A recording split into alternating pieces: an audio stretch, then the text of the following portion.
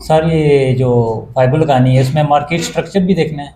मतलब देखें प्रीवियस फाइबो आपने लगाई ना फाइबो का जोन है 50 और 61 अब इस 38 भी जोन है। ठीक है। अगर 38 जोन पे आपको कोई चीज़ मिल जाती है डिमांड मिल गई है ठीक है आपको कोई सपोर्ट ही मिल गई है तो आप उस पर कंफर्मेशन पे ट्रेड ले लें ठीक। एच वन एम थर्टी पे आप कंफर्मेशन कितनी बड़ी कंफर्मेशन छोटी सी कंफर्मेशन है। आपको 61 पे भी कोई लेवल मिल गया तो 61 का वेट करेंगे ट्रेड लेंगे उससे पहले नहीं लेंगे। ठीक। 61 पे अकेला भी आप ट्रेड कर सकते हैं विदाउट एनी दीगर मेथड्स के। 61 को आप किसी बगैर किसी मेथड के भी ट्रेड कर सकते हैं।